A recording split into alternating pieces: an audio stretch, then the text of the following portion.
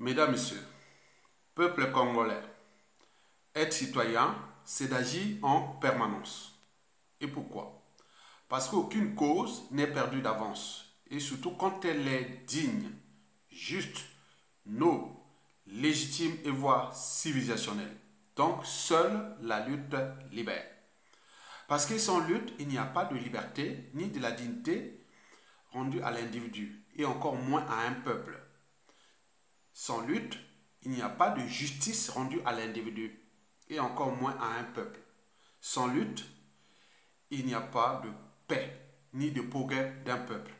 Sans lutte, il n'y a pas de respect du but même de la condition humaine, sociale et existentielle de l'individu et encore moins d'un peuple. Donc, seule la lutte libère. Ceci dit, être citoyen enfin, c'est d'être informé, et pourquoi? Parce que l'ignorance est la pire des souffrances. Le savoir et la connaissance vous libèrent. Pour info, plusieurs rumeurs circulent actuellement sur les médias et réseaux sociaux au sujet d'une probable libération du général Jean-Marie Michel Mokoko alerte et vigilance. Et pourquoi? Acculé par les médias, l'empereur 5 étoiles, le dictateur en série, Log de l'aliment, l'énergie tropical, Denis Sassou et son régime font courir une rumeur sur une probable libération de Jean-Marie Michel Mokoko, c'est un fact news, ce sont des intox.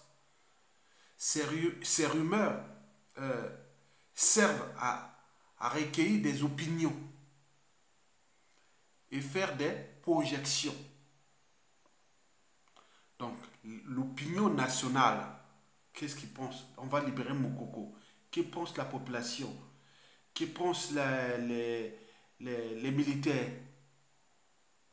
Que pensent la classe politique, que pensent les nordistes, que pensent les sudistes, que pensent les maquois, les aquois? c'est comme ça qu'ils font pour, pour recueillir des opinions. Et de ces opinions, ils vont faire des projections.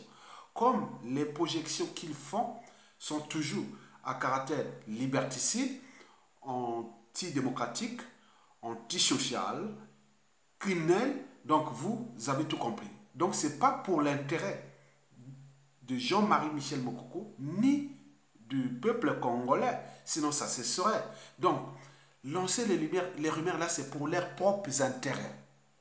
Et les intérêts qu'on connaît déjà, c'est soit euh, Denis Sassou Nguesso mourir au pouvoir là, à défaut, c'est la succession de gré à gré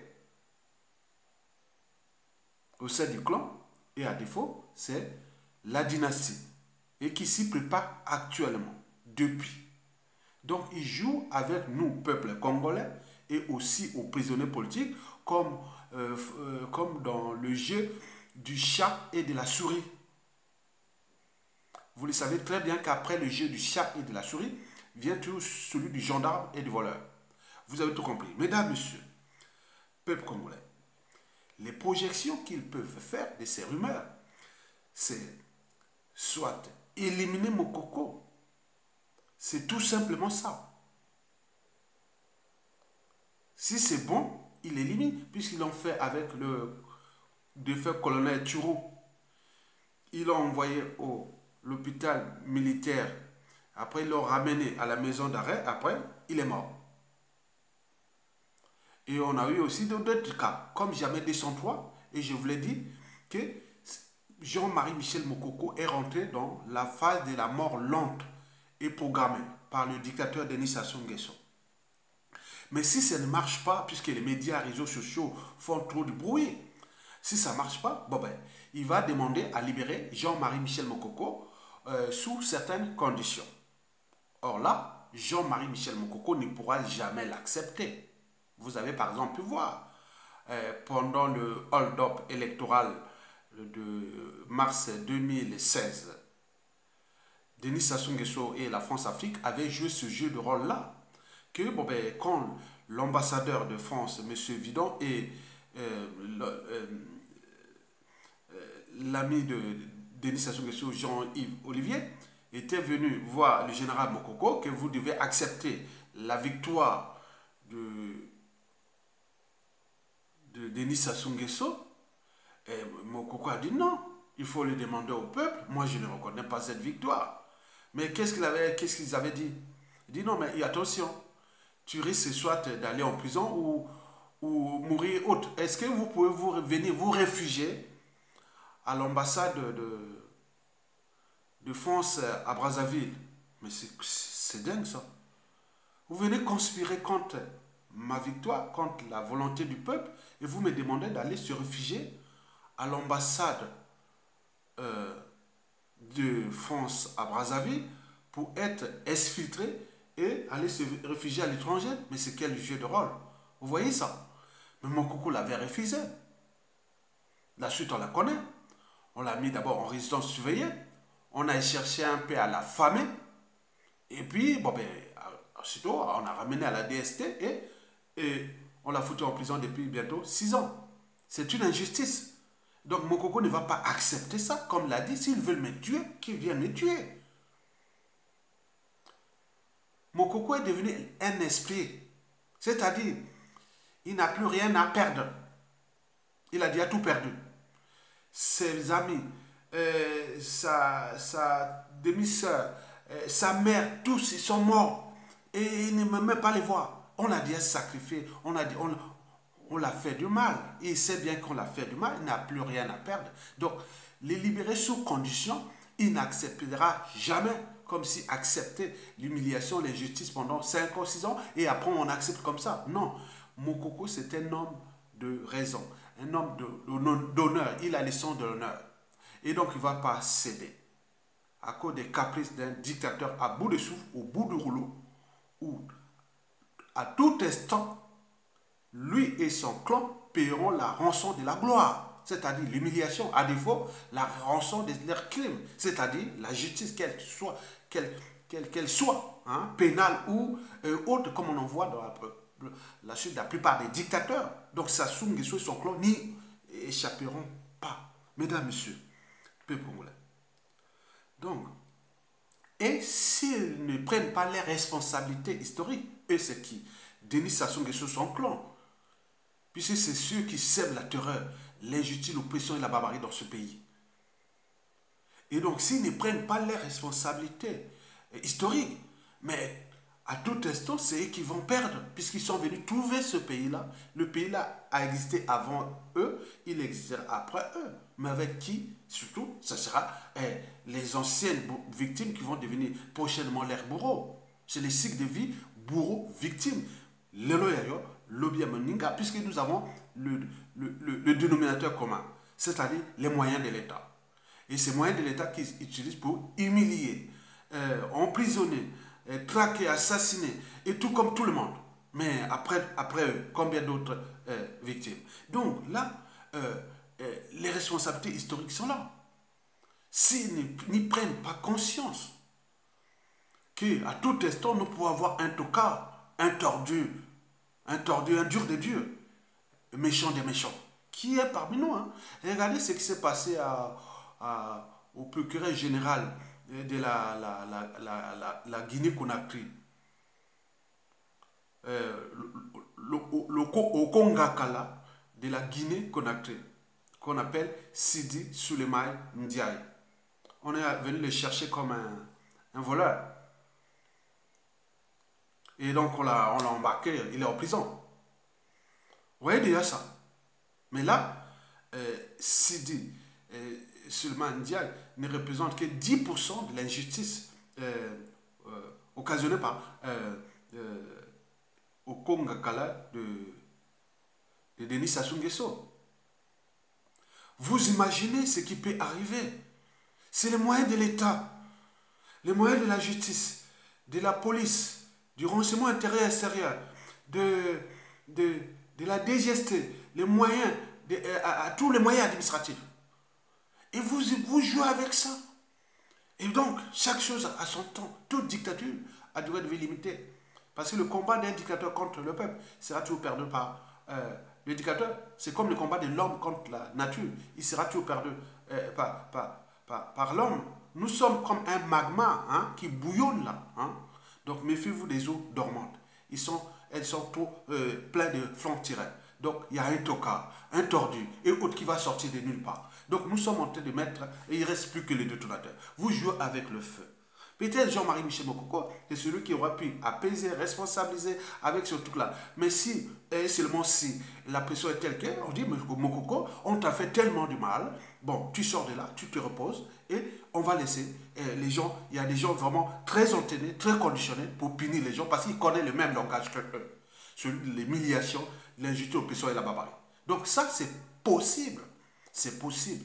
Nous sommes là les lanceurs d'alerte, les éveilleurs de conscience. Donc on sensibilise mesdames, messieurs, la responsabilité historique est là. Que, à tout instant, la peur peut changer les corps et les bourreaux vont devenir alertes des victimes. Et donc, vous allez voir que partout, les, la les prisons et autres, ils sont pleins de ces gens-là, qui vont, certains vont crever même là-bas. Tellement que euh, euh, euh, les rancunes, la vengeance et tout ça est tel que cette énergie potentielle est déjà là. Hein. Parce qu'ils ont fait trop de mal.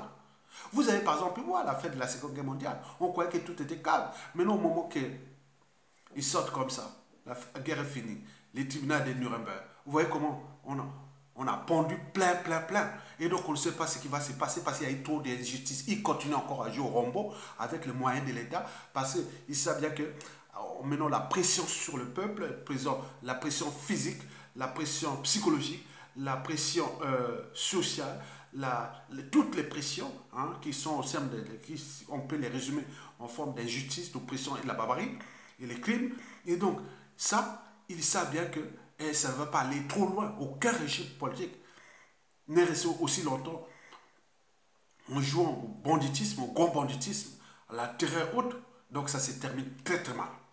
Donc, vous avez tout compris. Et, peuple congolais, donc, vigilance. Vigilance. Donc, dans ces fax news-là, je vous informe que dans ces fax news ou dans ces intox, vous avez par, ailleurs euh, vu que certains individus euh, euh, se prétendent, hein, prétendent même avoir le monopole de la libération de Jean-Marie Michel Mokoko. On dit non, nous on ne parle pas beaucoup, nous on va libérer le Mokoko et arrêter de vous agiter là-bas dans les médias, réseaux sociaux, à l'étranger, et nous aussi, au pays, on travaille, on va libérer le Mokoko. Mais attendez, c'est pas que Mokoko, où vous avez déjà 2016 jusqu'à nos jours, qu'est-ce que vous avez fait? Et en passant déjà les Paulin Makaya, les colonels Touré, Hervé Malonga, et plein de gens qui ont été beaucoup éliminés. Vous croyez qu'il n'y a pas que Mokoko Donc vous jouez à quoi? Donc voilà les genres de comportements des gens au pays là-bas qui sont parfois, on se dit qu'ils sont dans un autre monde. Au lieu de se structurer, s'organiser, et, et, la priorité c'est ça dégâts, vous venez jouer à la diversion que voilà, nous avions, euh, nous, nous travaillons, nous, nous, nous sommes en train de faire pour libérer Mokoko. Donc arrêtez de vous jouer autre. Voilà. Non, non, personne n'a le monopole de euh, la lutte. Personne n'a le monopole de la lutte ni pour la libération de Jean-Marie Michel Mokoko et encore moins du peuple. Donc tout le monde eh, doit mettre la main dans la pâte. Donc chaque fois qu'il y a un souci pour ce combat, il ne faut pas trouver des boucs émissaires et autres. Vous êtes citoyen, vous avez ses droits et devoirs. Vous savez que Margaret Mead, l'anthropologue, l'avait pourtant dit en son temps ceci, je cite, Ne doutez jamais qu'un petit groupe d'individus conscients et engagés puisse changer le monde. Historiquement, c'est toujours de cette façon que les changements se produisent. Vous avez par exemple, voir ce qui se passe au Mali aujourd'hui, avec le colonel Assimi Gweta et toute, la, toute sa bande. Vous avez vu en, Guinée, on peut en multiplier historiquement jusqu'à nos jours. Donc ça peut se passer. Donc personne ne peut dire, et oui, nous sommes comme en émeute. Hein, quand les, les, attaquent leur poids, où les, les, loups attaquent leur poids, ou euh, les lions, c'est l'esprit d'équipe. L'esprit d'équipe. Il y a ceux qui sont sur les médias, réseaux sociaux, qui informent l'opinion internationale de toutes les langues, Et il y a des gens qui sont sur le terrain, d'autres sont dans l'ombre, et autres personnes alimentent. C'est une lutte. Regardez, quand vous voyez les, les, lions, par exemple, les troupes des lions, les lions, quand ils attaquent une proie, que ce soit un bœuf ou autre, vous savez, ce sont des stratégies. Hein? Il y a un qui fait la diversion, et il y a un qui commence à courir vers la, la proie, et il y a un qui, il y a d'autres qui font les guet-apens. Vous verrez tout ça. Il y a un qui fait les genre comme si hein, pour attirer l'attention. Maintenant, il y a un autre qui, commence à courir ou, il court vers la, proie. Maintenant, la proie, quand elle a viré, donc, elle va tomber sur la gueule de, celui qui est dans le guet-apens. Donc, il y a des embuscades, euh, il y a des lions qui sont dans l'embuscade, d'autres sont dans la diversion, d'autres sont dans la dans l'attaque, et donc il y a tout. Vous voyez déjà ça donc, nous aussi, au niveau du combat, personne n'a le monopole. De, dire non, mais moi, euh, de dire que moi, mon coco, euh, nous sommes le. Nous, voilà, oh, ou que ce soit demain le peuple et autres. Moi, personnellement, il faut de voir mes, vidéos depuis 2015 déjà. Vous voyez que, par exemple, euh, le petit Gis, Gis bateau là, mon rapport nous pendant les référendums, vous savez ça. Euh, Père à son âme, en passant par les problèmes à Kaya, et même tout, tout, il y a tout le monde, tous ces prisons politiques jusqu'à aujourd'hui. Donc j'en ai parlé au même niveau que je parle. Donc je n'ai pas de priorité, que ce soit que Mokoko et autres. Donc vous voyez que j'ai commencé à parler de Mokoko qui a parti au moment où il était devenu candidat. Et par rapport à cette injustice qu'on l'avait fait déjà en, en, venant de Bangui, le 9 février 2016, euh, où la voiture a été caillassée, et donc, si, et seulement si les, le clan de Sassou demain, à la suite de Sassou, il vient de l'étranger, il, il, arrive à l'aéroport de Maya Maya, on les caillasse, on envoie les gens aller caillasser leur voiture ou leur ceci, on va voir ce qui peut arriver dans l'espace et le temps. Et là, c'est ce passé à Mokoko. Le futur, c'est justement le passé et le présent qu'on ignore. Donc, personne n'a le monopole de, de, de la lutte pour la libération de tous les prisonniers politiques, et notamment pour les deux célèbres, c'est-à-dire euh, qui sont en ce moment en prison, dans le, général Jean-Marie Michel Mokoko et euh, le ministre André Okombi Salissa. Donc nous sommes là dans l'esprit d'équipe. L'esprit d'équipe. C'est comme en, politique, c'est là de diviser pour mieux pitiner ou tout ça. Mais en entreprise, on recherche les meilleurs talents et bonne volonté pour. Voilà. Donc c'est ce qui fait que une bonne entreprise marchera toujours bien que les politiques, parce que les politiques, c'est toujours divisé. Mais donc, quand on voit l'esprit de l'équipe, on voit que c'est toujours pareil. On voit, regardez comment les lions font. Ils sont toujours dans cette équipe-là. Et les licaons, qui sont des chiens sauvages, c'est comme une cour d'endurance. Il y a comme vous regardez les Tours de France. Il y a des poursuivants, il y a des, ceux qui sont à la tête, hein, et il y a, il y a le peloton. Donc chaque, personne relaie jusqu'à ce que la bête elle se fatigue et après. Vous verrez que tu as deux ou trois, quatre qui, qui courent derrière la bête. il y a d'autres qui sont au milieu, les poursuivants. Après, ça change. Et les pelotons est derrière. Ils arrivent. Et juste après, donc, après, les pelotons, eh, ils repartent au devant et autres. Donc, chaque fois, donc, jusqu'à ce que la bête, voilà. Donc, c'est comme les Tours de France. Et l'ICAO, hein, les chiens sauvages, là, qu'on voit euh, en Afrique australe. Et donc, vous devez comprendre ça. La nature nous apprend beaucoup de choses. Et donc, là, personne n'a le monopole ni de libérer Mokoko, ni le peuple. C'est un acte de. C'est pour tout le monde. Donc chacun doit agir comme disait Margaret Mead. Ne doutez jamais. Ce que j'appelle les engagés. Parce qu'un engagé, c'est celui qui a pris des risques, n'a plus peur. Donc dès qu'on a engagé, on n'a plus peur. Mokoko n'a plus peur. Qui vient l'éliminer, qui vient faire ça, mais il n'a plus peur. Il n'a plus peur. Dès qu'on dit au commissariat, n'a plus peur. Dès qu'on rentre là, ça on a tellement éliminé, a tellement assassiné. Mais on ne sait pas quels quel criminels aussi ils ont fabriqué de l'après. On ne sait pas. Donc on ne sait pas. Parce que moi, je vous l'ai dit qu'à la chute parfois des régimes comme ça, il y a eu beaucoup de morts. Hein, beaucoup de morts après, silencieuses. Disparition suspecte ou forcée, ou plein de tout comme ça qui peut arriver aussi au Congo. Donc il y a beaucoup de choses. C'est un pays en danger. On ne sait pas. On ne sait pas ce qui pourra arriver par la suite. Hein. Donc attention danger. Donc, voici les, trois conditions, les quatre conditions que vous devez s'affranchir de ces amalgames, de ces polémiques, de, de comment on appelle ça, la guerre de responsabilité ou de lutte. Non, personne n'a. Donc, on est au même point d'égalité. Ok? Donc, vous devez comprendre que si vous luttez pour la libération de Jean-Marie Michel Mokoko et des prisonniers politiques et du peuple congolais, c'est d'abord pour un acte humaniste. Parce qu'on ne peut pas l'admettre qu'un seul individu peut humilier, emprisonner, assassiner et tout comparer les uns et les autres tout impunité comme ça. L'humanité n'a jamais fonctionné comme ça, c'est jamais vu. On ne peut pas l'accepter. Et donc, au point de vue humaniste, vous devez vous battre pour la libération de Jean-Marie Michel Mokoko, des prisonniers politiques et du peuple, qui est pris en otage par ce régime euh, euh, tyrannique euh, d'exception, au crime multiforme. Vous avez tout compris? Très bien.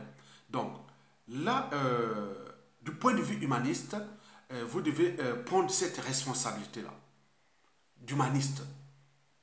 On ne peut pas l'accepter. Voyez les animaux. Regardez dans la nature.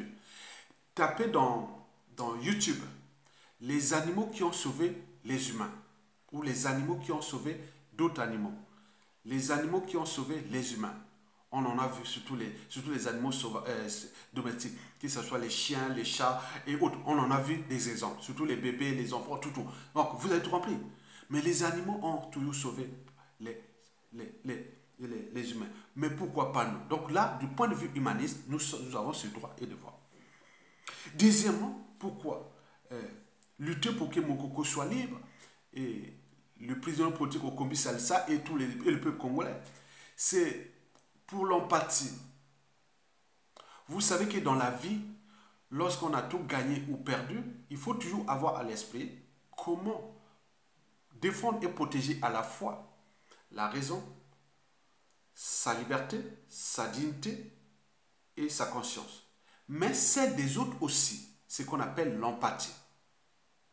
Je ne peux pas l'accepter qu'on prive de liberté euh, les uns et les autres euh, ont, toute impunité comme ça, injustement comme ça. Je ne peux pas l'accepter que on, rend les, uns et les autres indignes comme ça.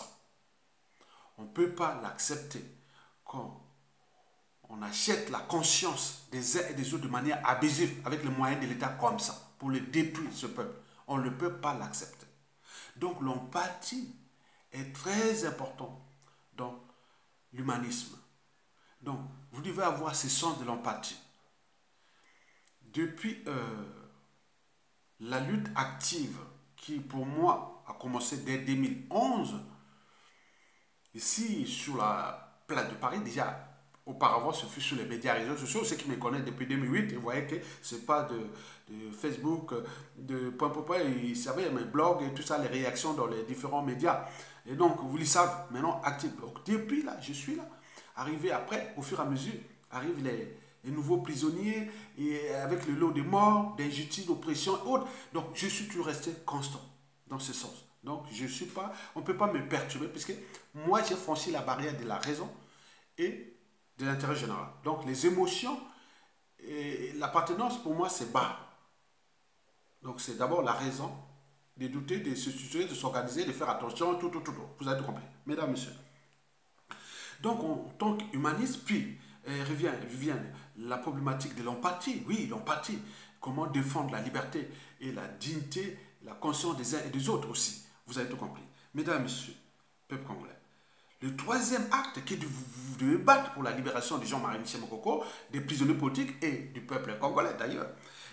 bon, donc il est d'abord citoyen. Un citoyen a des droits et devoirs contre l'injustice, l'oppression et la barbarie. Je vous l'ai dit, parmi les trois vertus du citoyen figure la désobéissance, deux, euh, la résistance, trois, la révolte. Par la désobéissance, le citoyen arrache sa liberté par la résistance, les citoyens arrachent sa dignité. La dignité et la liberté, ce sont les deux premiers fondamentaux des droits de l'humain, de l'humanité. Les animaux ne sont ni libres ni dignes, mais c'est nous, humains, qu'on est libres et dignes. Donc on doit se battre euh, euh, pour notre liberté et dignité, ce qui fait de nous humains et en plus citoyens. Vous avez tout compris?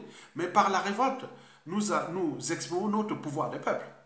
Donc moi, si je désobéis à Sassou Nguesso, je résiste à Sassou Nguesso et je me révolte contre Sassou Nguesso. Donc d'un côté, je peux me dire que je suis un citoyen et de l'autre, je fais partie de la composante d'un peuple.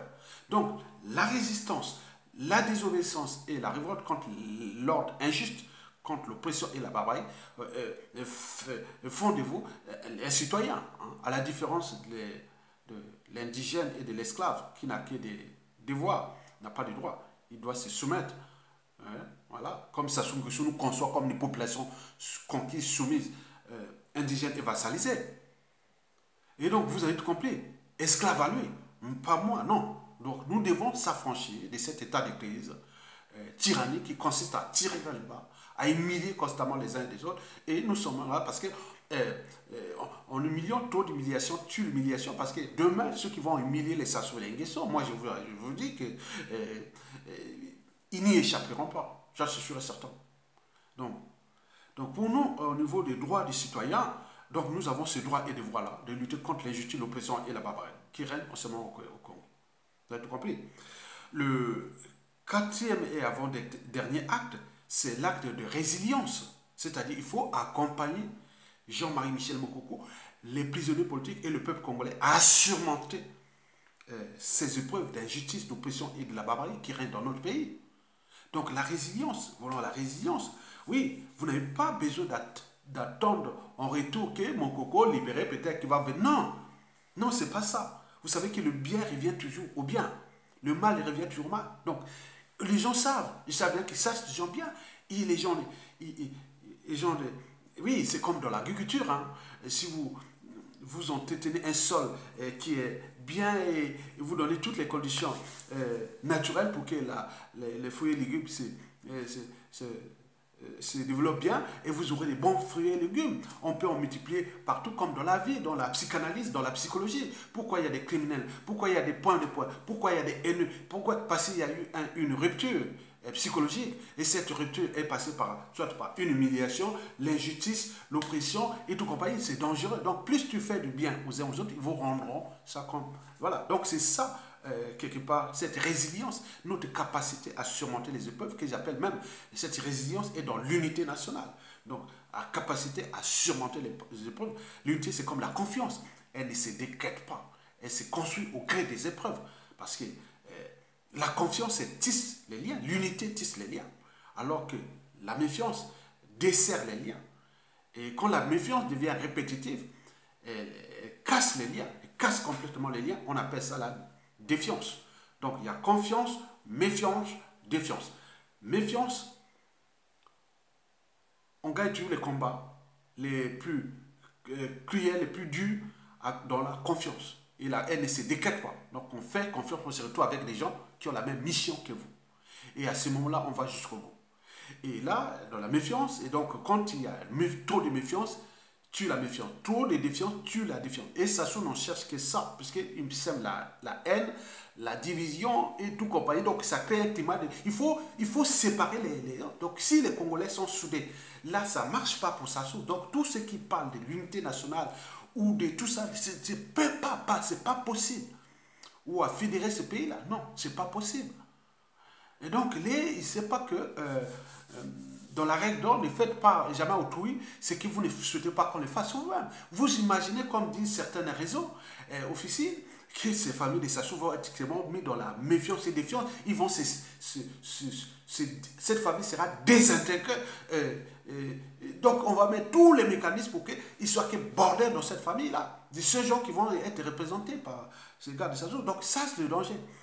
Euh, de l'après. Donc, je suis là pour alerter tout le monde. Enfin, l'acte que nous voulons vivre, c'est l'acte politique, c'est l'engagement. Parce qu'on sait que la cause pour laquelle nous défendons est digne, juste, noble, légitime et voire civilisation. Donc, c'est un acte euh, des citoyens congolais. Donc, je dois défendre ma nation, je dois défendre mon peuple, je dois défendre mes institutions, je dois défendre tout ce qui est de bien dans mon pays. Donc c'est ça. Donc vous n'allez pas vous réfugier aux États-Unis, au Canada, en, Europe, euh, en Asie, partout où vous êtes dans la mer, même en Afrique, et vous laissez les regards, observer les autres et penser à l'avenir de leur pays, et vous êtes là derrière en train de créer les amalgames, la haine, la division, la méfiance, et créer des troubles euh, euh, citoyens, hein, hein, parce que les gens qui viennent dire non, c'est nous, grâce à nous, que mon coco, grâce à, mais attends, grâce à vous quoi? Depuis 2016, où elle, elle a failli perdre la vie, et tout ça. Vous croyez que les intentions du tyran sont pour laisser mon coco en vie? Certainement pas. Certainement pas, sinon ça cesserait. Et donc, vous le savez très bien que c'est à cause des pressions déjà des médias et réseaux sociaux et qui alertent l'opinion internationale, c'est à cause des pressions euh, aussi euh, ethniques parce que euh, nous sommes aussi dans le Nord. Le Nord dit, attends, ce que tu fais à mon coco là, même pression tribale. Et, et voilà, même à quoi tout le monde dit, non mais attention, danger, ça risque de se retourner, ça n'est pas éternel. Et vous allez comprendre ça comme, ça ne parle pas de l'avenir des Boshi, non, il parle de l'avenir de ses enfants, petits-enfants, et c'est tout. Mais eux, ils ont privilégié euh, euh, leurs intérêts privés à la place de l'intérêt général. Mais demain, ce sont les Congolais qui viendront les punir, ça c'est sûr et certain. Mesdames, Messieurs, peuple congolais. Donc, euh, avant de terminer, vous savez, j'ai reçu ces derniers temps hein, des éloges à travers les, les, réseaux sociaux, Facebook, où certains même euh, parlant beaucoup de choses sur moi, c'est-à-dire oui, tu fais un bon travail, merci, merci. Ils donnent leur numéro de téléphone du pays. J'ai dit non, il ne faut pas me prendre pour un nom. Les numéros de téléphone, c'est quoi? Des réseaux des gens du Kemba et de, de, de, et de tout ça, hein, tout, tout ce monde-là. Je ne veux pas tomber sur la gueule de l'eau. Donc, il m'envoie ces numéros de téléphone-là des Brazzaville. Moi, j'ai dit que ces gens-là, ils prennent quand même des risques. Parce que ces numéros-là, je les prends, hein, je les prends. Hein. Bon, je les copie et je mets dans un réseau. Et ils vont vérifier ces gens à Brazzaville. Qui sont ces numéros de téléphone-là? Et après, il y a des gens là-bas qui travaillent pour savoir qui est ce individu-là. On a déjà des, quelques individus qui sont déjà là dans la liste. Imagine-toi, qu'on sait bien que vous êtes agent de Sassou Nguesso, de Okyo Sassou Nguesso tombe. Vous êtes le premier sans, réseau apparent à se retrouver à la DGST. Vous savez ça? Donc c'est un combat qui est rude et passionnant à la fois. Rude parce que vous mettez des opérations genre euh, euh, euh, émotionnelles, euh, ou euh, l'appartenance, ou tout de gérer. Ah, vous faites un bon travail, nous on est là, donc on comprend, voilà mon téléphone, si vous voulez me contacter, vous, mais contacter pourquoi Faites ton travail de citoyen là-bas. Si tu as des réseaux là-bas, fais là-bas pour faire tomber sur question. Viens pas m'envoyer les messages pour que j'appelle là, ça tombe sur genre de Donc j'ai déjà cinq individus que j'ai déjà identifiés par les réseaux, par les téléphones. Donc ils travaillent, ils travaillent euh, fait là-bas. Donc on sait maintenant qui sont ces gens. Et donc ils sont en danger au moment que ça soit là, il est là. Mais au moment où ça soit tombé, moi je vous dis sincèrement, vous serez le premier à retrouver à la DGST. Et vous serez déclassé parce que je n'aime pas ce, genre de comportement.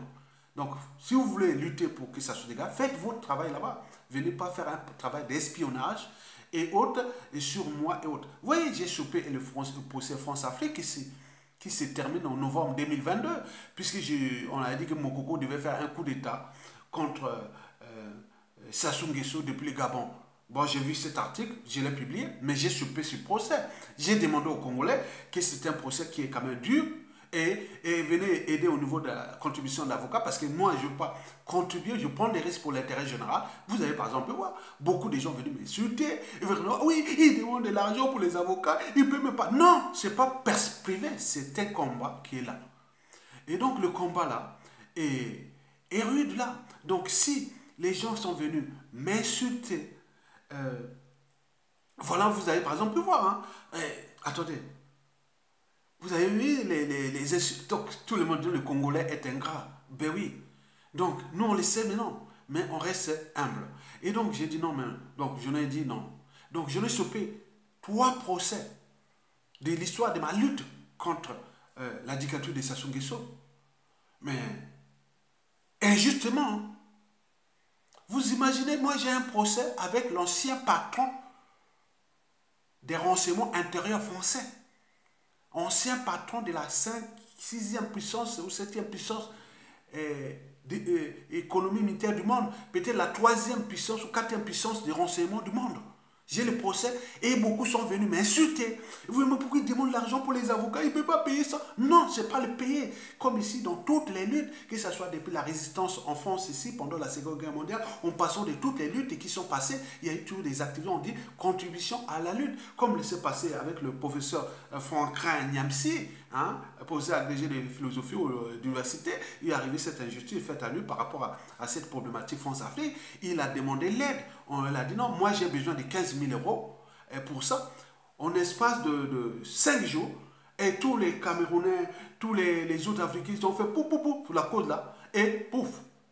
Et le montant a été atteint 20 000 euros. C'est là qui donne la force, que ce soit le combat noir ou autre. Mais nous, on est venu, aïe, aïe, aïe, aïe. J'ai dit, stop, stop, stop. Et demain, vous venez me dire, ah mon ami, ton combat est bien. Attends, on vous demande où vous étiez où.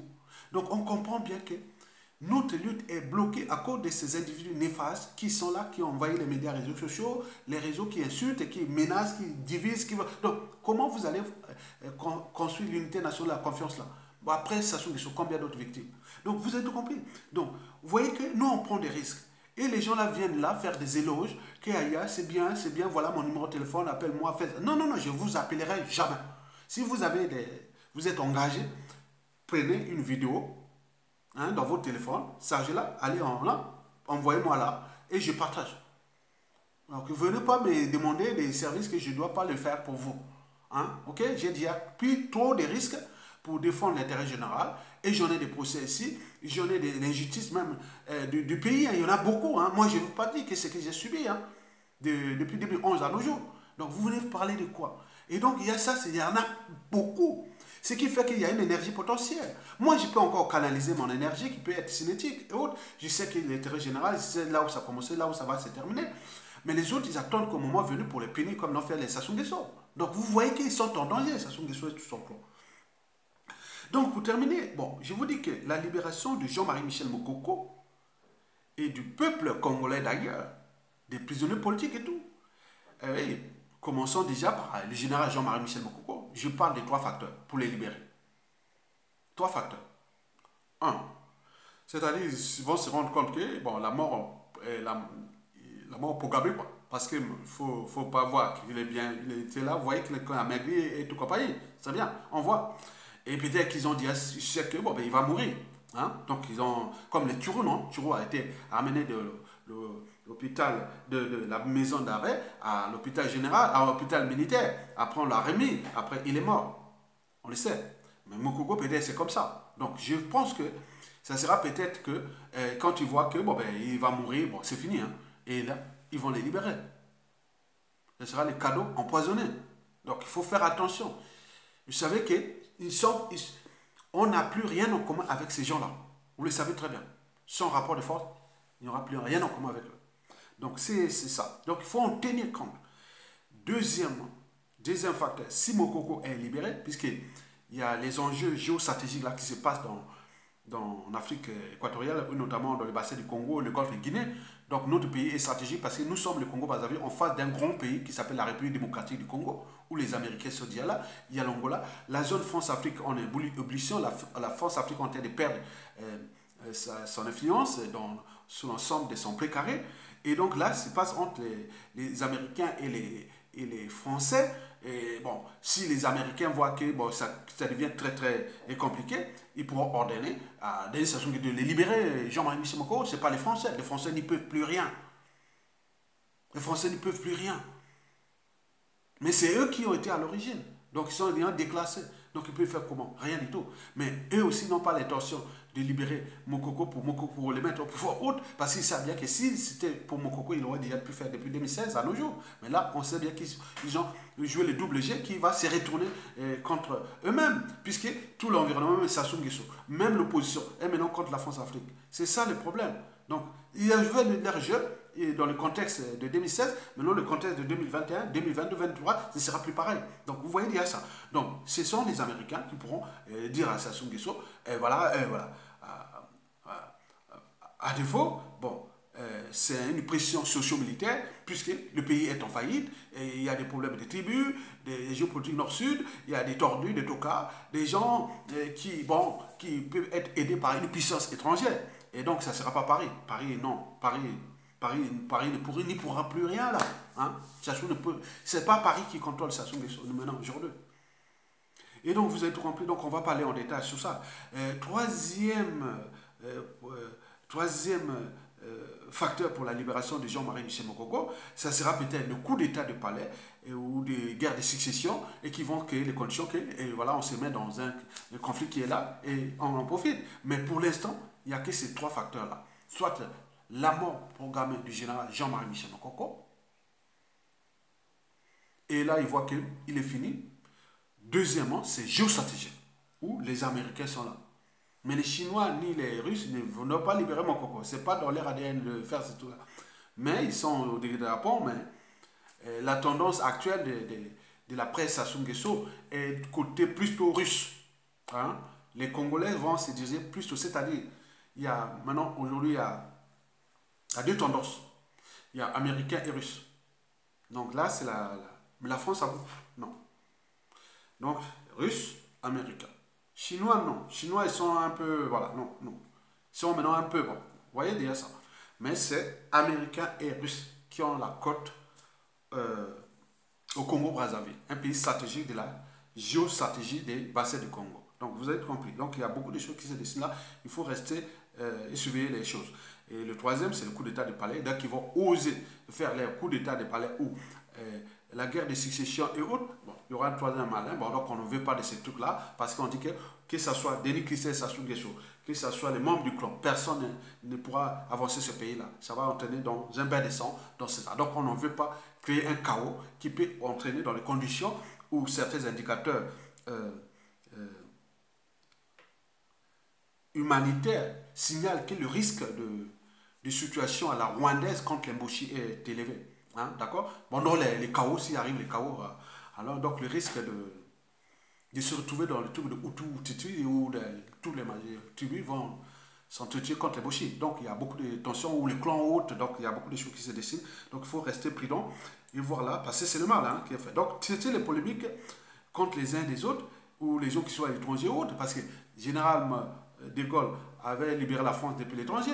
Sassou Nguesso avait venu à préparer son coup d'État ou depuis l'étranger. Et on peut multiplier plein de trucs. Sassou est aux abois du point de vue macroéconomique. C'est à cause de la, ces erreurs, d'abord, ses propres erreurs, mais également des, des réseaux de l'homme qui travaillent pour que tous les réseaux financiers des Sassou Nguesso soient bloqués. Ce n'est pas au pays, c'est à l'étranger. Donc les gens travaillent ici, les gens de l'homme. Hein? D'accord, d'accord? Donc il ne faut pas aussi euh, mélangé, puisque parmi les gens de l'homme là, il y a beaucoup aussi des gens de la France-Afrique. Et qui ne veulent plus de cette France-Afrique du passé, mais cette France-Afrique nouvelle, pour qu'on puisse transformer ce monde-là, parce que la France devient, la France-Afrique devient le mouton noir de l'Occident en Afrique.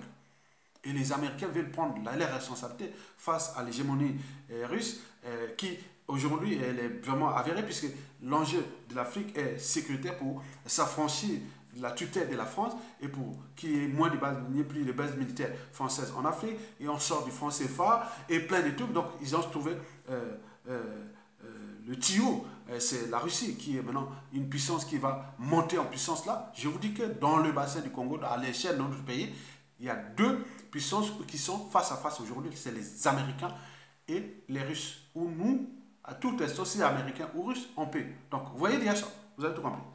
À bientôt et likez et partagez cette vidéo au plus grand nombre. Et merci beaucoup et à bientôt.